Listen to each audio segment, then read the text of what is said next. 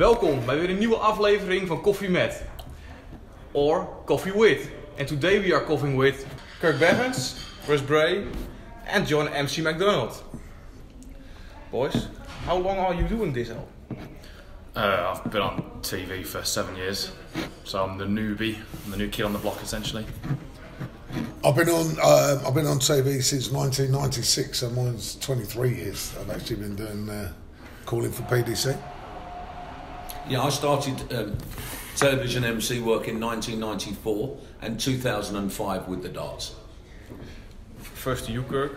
What do you think at the trains in, in the Netherlands? Brilliant, better than the UK trains. um, cheap to travel on, um, fast. They're just very yellow. That's the only problem. They're all the same. And the NS is yellow. Yes, well, uh, question for me, for you, uh, Russ. Um, if I'm correct, you're 62. You're, You are correct. still a Yeah, yeah. young guy, but um, what are your intentions for the future? How long will you do this job? As long as possible, or Yeah, what are your long as, intentions? for as long as um, for as long as anybody still wants me to do it, Yeah. and um, you know, as long as I don't go soppy and senile and forget my numbers, then you know, as long as I'm able to do it, then you know, I'd certainly like to keep going. Yeah. got a few years yet, you know. So uh, yeah, just see how it goes from there. You know, it's Mm-hmm. um, I've still got as much enthusiasm there. I travel more now than I've ever done. With Um, exhibitions? The tournaments or the exhibitions? What do you mean? Both, uh, Both? both. Yeah, yeah, yeah. I do all the Asian tour. Yeah. Um, I've just come back from Australia last week. Been out in Australia for three weeks, and the week before that, I was in Malaysia in Kuala Lumpur. Um, so, um, yeah, I do a heck of a heck of a lot of traveling. Mm-hmm. I'm away nearly 300 days this year. 300 days. 300 days this year away in a hotel. You, s- you Yeah. say the Asian tour. Yeah. What you experienced at the Asian tour the last two years? fantastic. Watching um, watching the guys and girls progress. It's, it's getting better in depth, which is what it's all about. It's, it's, it's a matter of getting the players there. You've got your top line players, but then it's getting better in depth. So if it gets better in depth, then obviously it pushes it forward. So the top players then have to look to their laurels, and the bottom players are getting getting more and more competitive. So uh, over the two years, I've actually done it so far you can see that progression big time. Um, what's the World Championships? What's some of the guys in the World Championships? Because there's, um, you might be in for a couple of shocks. Well, there is a lot of potential over there. There are a lot of, a lot of people, people. uh, throwing darts in there. Yeah. It's amazing. So, Yeah. hopefully, no, hopefully, maybe we'll see a world champion in the next decade. Probably, possibly, possibly, possibly in the next day, but certainly uh, walk before you run. So um, I think that you will end up with um, certainly top Asian players within the top top 16, top eight, possibly in, in the next Even in the next in the next five years, Okay. Next five years. next five to ten years. Okay, I'm curious about that. Yeah, yeah there you go. I think it will take some a little bit longer, but we'll see. Take Rob Cross. Yeah, that was tremendous. Huh? Yeah, well, there's guys in Asia. From Like, there's guys in, there's guys, year. absolutely. Zero to hero in one year. There's guys in Asia that are like Rob Cross. Believe me. Yeah. Okay. So you know, as I say, it, it's um, that's what I honestly think. But you've got a lot more choice as well. Yeah. So, just finding them. A question about. Uh, uh, I think most uh, uh, nice thing to do is, uh, as a caller, is, is to call a nine darter. I think. Am I correct? Yeah, that's, that's pretty good. Yeah. Is there a competition between uh, uh, your lads? Uh, who's who's calling the most nine darters? People, Some people are following this and, and say, "Hey, Russ Yeah. got 14 officials. Uh, you got uh, two now this year." I On thought TV, yeah. on Two, TV, yeah, yeah, on. TV, TV, yeah. TV. Yeah, TV. I've lost count of the number of nine darts. I do spotting on the weekend tours as well. Yeah. So I tell the camera where to go. Done a few of those. I can't even remember how many I've done. I don't even count. Uh, I've marked some nine darters. I lose track. But calling on TV, I've done two. Um, it's not really a competition, but you know when someone does a nine dart on TV, which is quite rare, you mm-hmm. always you know you kind of know which the, who the ref is, and Yeah. they've added one to their tally. But you know they've done it for they've done it for years. I've done it for seven years. I got two, so I'm, I'm playing catch up all the time. So I'm never going to beat them.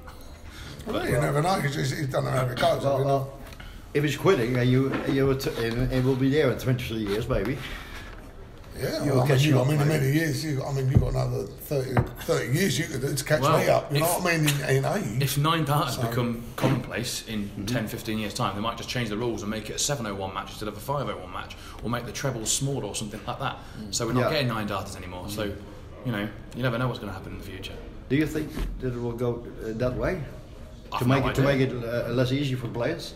I don't Because know. the standard, uh, uh, the players getting better each and each year. Yeah, we, we they have different tournaments, don't they? Like the Grand Grand Prix, where you start on a double, Mm-hmm. finish on a double, so that makes it a bit harder, a bit different. You've got set play, you've got match play. Um, so maybe in the future, that to, to shake things up, they might have one tournament or so where you start at 701 or 1001, Mm-hmm. Yeah. or one tournament on a, a quadro board where you have the Yeah, doubles, yeah. trebles, and the, and, the, and the four times, or smaller trebles, as, we, as we've said. So I don't know. Oh, Champions Choice Ball. That's the one. Yeah, yeah, that's it. half-size Yeah, yeah, trebles, yeah. doubles. There's ways to gloss it up, isn't there? I think most sports have looked at that. If you look at Yeah. a lot of sports, you know, you've got football with five aside, you've got cricket with 2020. So you know. cricket's the biggest innovation. Of Yeah, I mean, you know, they, they've had to adapt viewable. to make it, you know, Yeah. more, more, more, um, it's a viewable, but I think just a change really in old attitudes. And I, I still think darts is thrilling, whether it's a nine darter, and they're not as common as people would like to think, but you know, they are there and they are the holy grail. I think making it um, tougher, well, you know, I don't, I don't see the point. I wouldn't see the point in that, but Well, I, I, I But know, it- I know but what if- Kurt means. It, Mm, it, it, it, I know what it you should be mean. the Holy Grail, but the Holy Grail is almost each weekend there. Mm. Sometimes several times in a weekend. But uh, nobody wants to see top sportsmen fail. So if you're going to have half half size boards, half half Yeah. size doubles, is that good for the game? I don't think so. Personally, it makes it harder. So of course, it'd be like making a golf, you know, golf 700 yard par four. You know, it's virtually impossible. Yeah. Um, and it doesn't make it entertaining. Then it doesn't make it watchable. It makes it near impossible to achieve. Um, yes, one person will achieve it maybe once, and that'll be exciting. But you don't want to see a you don't want to see a Holy Grail once in every 10, 12 years. You want to see a Holy Grail, Yeah, you know, happen on a regular basis, Yeah. so that What- what- you know, ordinary Joe so it's, it's attainable to ordinary Joe, so Yeah, ordinary absolutely. person. So that's think, how I look. I think also what the general public don't know is that in the practice room, um, pre-match, they happen all the time. Yeah. And all the time. It's in the warm up. I've seen You it in the warm up on the yeah, I mean, yeah, you know, I've- seen four or five 180s on the spin. You know, I remember Mark Dudbridge getting 11 180s on the spin. Couple of once. weeks ago, uh, Phil Ray- Taylor was counting. Yeah. You know, I joined it at seven in the practice room, and seven, and he did another 180, eight, another 180, nine, got up to 11, and got a 140. That was Mark Dudbridge in the Premier League. You know, yeah, but you know, so it's it's very common. But then you have the peer pressure of playing on stage in front of a live audience, and that's what makes the good players great. There's very, very good dart players out there. You That's put them on the stage, and suddenly, Yeah. There's You know, it's a there's different- special pressure. yeah, absolutely. That's what what uh, Menzo told us yesterday here also. Yeah. He, he doesn't get uh, had his best year last year, to be honest. And he uh, he also said it. And he said, "Oh, it's, it's all about the pressure, especially when the cameras are there and the audience are there. Um, it's it's another level to go with, uh, Yeah. to, to, to deal with. Well, and, and young players especially, because nothing can prepare a player for what they're about to receive at the PDC. You know, if you're a good player and you've qualified for the UK Open, you could come to Minehead and be on the stage, first match of the day, in front of five and a half thousand people. Nothing can prepare you for that. If you've been a very good amateur footballer, No. you might have played in front of thousands of people. Amateur boxer, you might have boxed in front of thousands of people. There is nothing in the world of darts that can prepare you for what we are about to, to, to deliver. Mm-hmm. And that's, that's the big business, and that's what's happened to our sport. I've noticed that in, in my short time in darts, that it's gone from you know the leisure centres and, and, and the small theatres to the big stadiums. Yeah. And that players have to adapt to that. Some can, some can't. You know, that's a fact of life. You heard the, the, the term when a sportsman freezes for the Yeah, yeah, occasion. yeah, yeah. I mean, dare I say that there's been comments today that England froze in the World Cup final in rugby today. You know, these things happen. You, the peer pressure of a player is very hard to, to, to gauge. And the beauty of that is, is um, I know you use the comparison here of England playing rugby today. Yeah. Um, you've got 15 players on the pitch there that froze. You're one person on your own. Yeah. You are one. Yeah, per- yeah. you are. It's, You can hide behind you your team can't- players. It's one of the, it's one of the only sports um, where you cannot start off defensive. No. You can't think, oh, just hit a nice easy 60 here just to get myself in. You've got to go for 180 straight away. You've got to be Yep. offensive immediately. You can't play it defensive. You know, snooker, yeah, I can hit the ball, bang into but I'll put it behind the white so they can't, so they can't go shot to to another shot. yeah. This, you have got to go Yes. offensive from the off. Um, no two ways about it. It's as simple as that. And the only person you can rely on is you. You can't rely on the Can't team hide. member. You got you can't hide. You've got nowhere to go. No. And if you're having a bad day at the office, there is God knows how many cameras pointing at you in so many different directions, showing you where you're having a bad day. So it, it's it's a very unique sport in that Yeah. way. Very unique sport. Fabulous. Pressure should be uh, tremendous. Um, Yeah, but it is. no, no regular people who've never been there. Can, Oh, they couldn't even comprehend it, and they and comprehend also the general public are getting a comprehend it. massive insight into it because you know they can pretty much leave the comfort of their front room watching us on TV, go into their uh, dining room or their kitchen and start to throw darts. Mm-hmm. You know, but nothing could explain the pressure that these players are under, and it's. Um, it, I, I, I really do have a great deal of time for our players. I think um, they don't get the credit they deserve in many ways. It is not just a game of darts at all. That, that's long been proven. This is a very, very skillful, professional business. And, um, you know, I think people like me that haven't come through darts, that suddenly ended up in the sport, um, have a very, very healthy respect for it and the players. Um, and I think the general public are starting to see that. Not just the entertainment level, I think they're starting to appreciate how skillful and how tough their job is. It's you not see, leisure. you It's see them sport. on a daily basis, huh? So Yeah. you know what they uh, have to do for it. Of course. It's not a leisure now, it's a sport. And that is exactly what it is. It is a sport. And it's a sport played at the very, very highest level. When you get the high level guys, your Michael Van Gerwen's, your Gary Andersons, Peter Wrights, these type of people um, playing the game at, the, at its highest, highest possible level.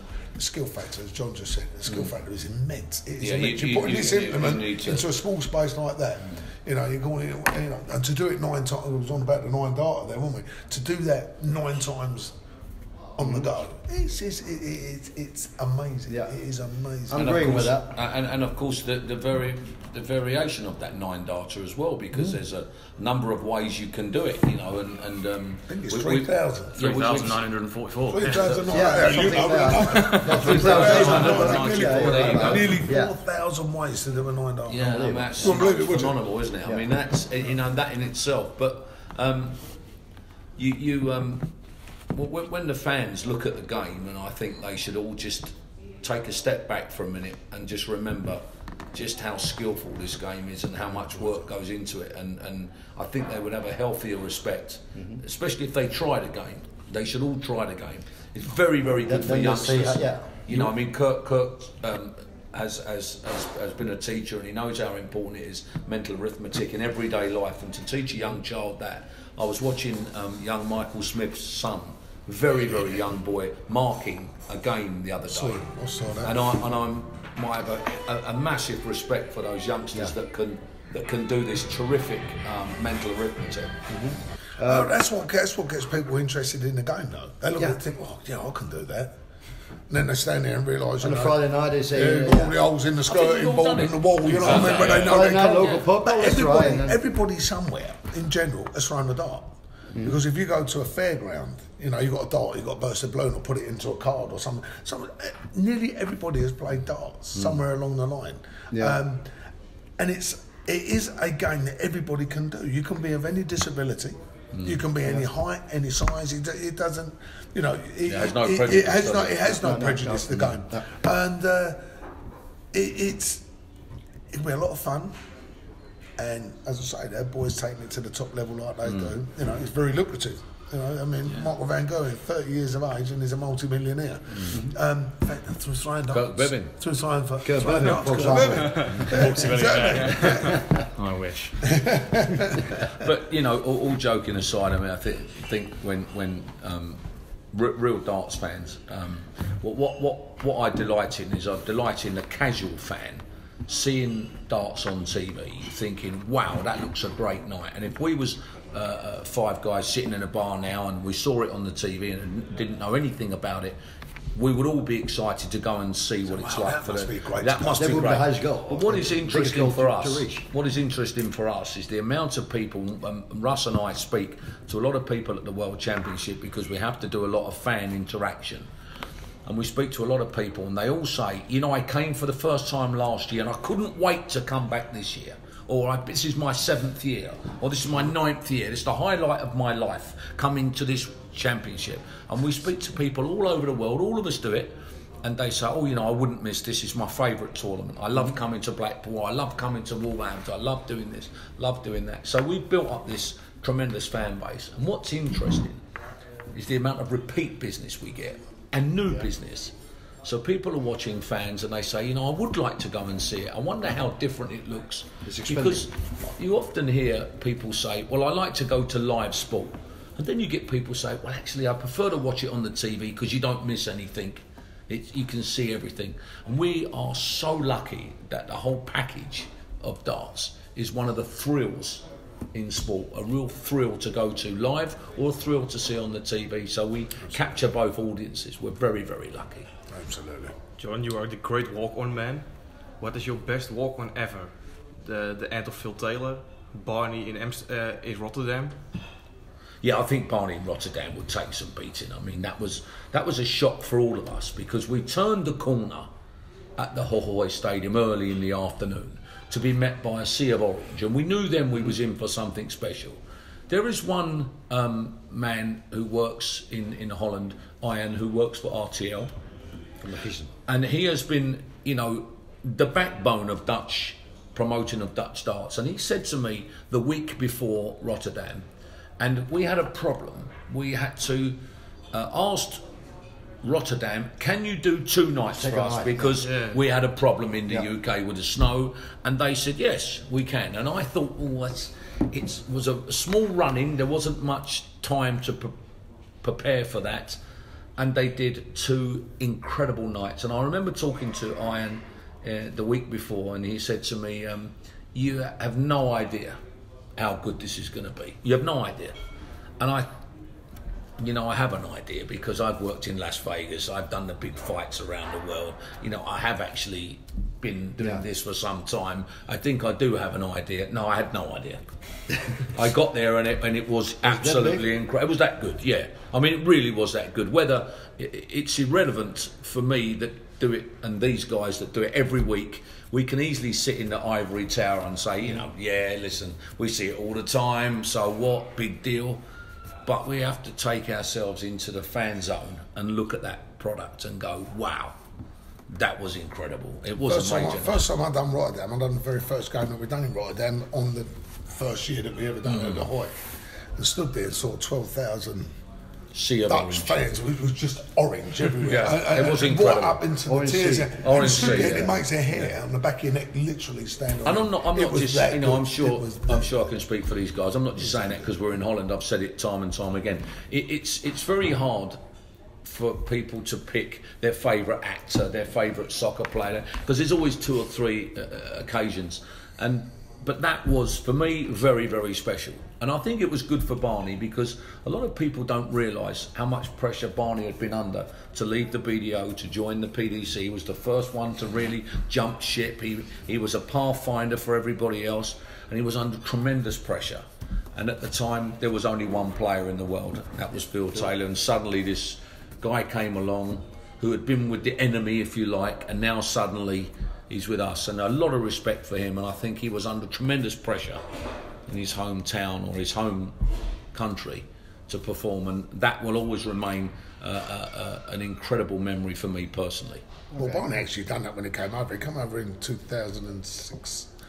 Mm, And 2006, 2006. Premier and then yeah. the World Championship 2007, Mm. which 2006 2007, um, was probably one of the greatest finals ever been when he Yeah. beat Phil Taylor in the signing- sudden dead leg. the So, you know, yeah. so, you know, all of, all of a sudden he was there. Yeah, I mean, that's arguably it, you know, another great- great Absolutely, night, absolutely. It was, it, was, Yeah. it was the last one at the Circus Tavern as well. Very last match at the Circus Tavern Mm. from the PDC event. And um, again, it was just uh, a fantastic moment Yeah, within our game. You know, I agree. You know, and there's been many. To be fair, there's been many fantastic times. Yeah, it's hard to pick That's one. It's hard to pick one. It is. I mean, I, It's like your favourite child, Yeah. right? I, yeah, that's, It's very exactly. difficult. I mean, none of, we all have children, but you know, our, our favourite child is a hard one to pick. You know. Of Um, Another question. Um, what do you think about uh, the crowd uh, last couple of years? Uh, we've noticed there's something uh, changing. The booing, the cheering, the shouting. Uh, it looks it looks like uh, uh, it's become more uh, well, almost aggressive is not a good word, I think. But you're, Yeah, I think more, it's a- more people, I more think so. are uh, out cheering, uh, shouting between throwing uh, before plays go to a double. What do you think about that? For example, Kurt? Um, well, it's got more boisterous, I suppose, but um, the only thing I really don't like is uh, whistling, particularly when they're whistling when they're throwing. You know, mm-hmm. if they've got three darts and they're whistling three times on the throw, it's obvious they're trying to put them off. If you've got 10,000 people booing, it's, hard one- to stop it's one noise, It's isn't just it? one, It's one noise. noise. But you've just got one person that's whistling three times. I hate that. Or someone just whistles in general, it just goes through. you Oh, know, it does. I don't see the point of it. I cannot see the point yeah. of someone just No, it's bad. It's bad. It's bad protocol. You know, I- I- it is, but I think I think what we've noticed is that a majority of the crowd police themselves, they do. they do. which isn't their job, but you know they shouldn't have to, but they do. And if they see somebody misbehaving and then they don't like, you know, you, you've got hardcore darts fans and you have the casual darts fan, and we're trying to appeal to all the fans. And um, I think if you misbehave at a darts match, I think you'll be self-policed. You know, which in many ways is a good thing. Um, not always. but uh, not always, but you know, it does happen. We noticed in Germany last week um, the booing for for um, uh, Gerwyn. Price, and then it was mentioned by the referee. You know, we'd really appreciate it i if you just consider the fact that um, you know all you were doing is spoiling the, the guy's game. There was no more booing. And I think people appreciate that. You know, what, what do you want him to do? Do you want to boo him forever? Is he the arch villain? No, he's not at all. You know, he's just an ordinary player. He shows his emotion. He wears his, his, his heart on his sleeve. You know, he shows great emotion, and um, and that you can't be blamed for. Uh, Peter so- Manley from many, many Yeah, years ago. yeah, yeah, One prime lot. example, He yeah. became the pantomime villain though. Yeah, and, sure. and, and everyone loved to hate him and, and he Yeah, played it he played it perfectly to Just the like crowd. Ted Hankey, for example. Exactly, Yeah, yeah, exactly. yeah, yeah, they played it. They played guy, it. Yeah, they played played the it. They played it to the crowd, and the crowd loved it, and they interact.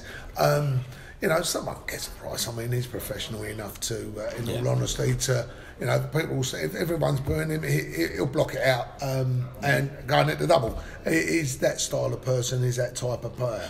Um, I'm not a great fan of it. It's not what I like to hear. You know, I don't want, I want to hear everybody being happy, but it's it's any sport. If you go to a football match, if you go across the road here, if Ajax are playing FC Twente or something like there that, you know what I mean? Yeah, if, if they've gone over there, you know, FC, if FC Twente are taking a penalty in front of the Ajax fans, are they going to be quiet? Of course they're not. You know what I mean? So Yeah, right. it, it, it's it's sports crowd. It's a sports crowd, and you can take that. You can't say with Snoop because you've got to be quiet. But in anywhere that you can be cheering and shouting for your team, for your player. Don't forget, these are not a team. This is a single player. So you're going to have Gerwyn Price fans.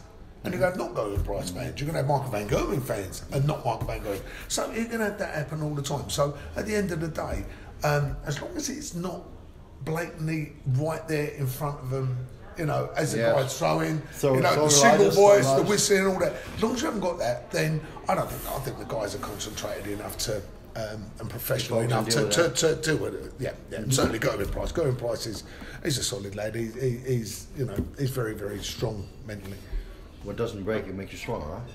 Absolutely, absolutely, exactly that. Maybe it will be his advantage. In the, Yeah, of course, of course, of course. Because when people do start to cheer him, Yeah. then watch him go. You know, but as I say, I, I, I don't like, I don't like that style of thing. You know, and we try our neither. best. There's not a lot we can do, unfortunately. You can turn around and say, you know, ask the crowd to shut up or whatever. Um, But I don't listen half the time. you know, yeah, Makes him worse five- sometimes. Five thousand, seven well, thousand that's people. what, what I saw, yeah.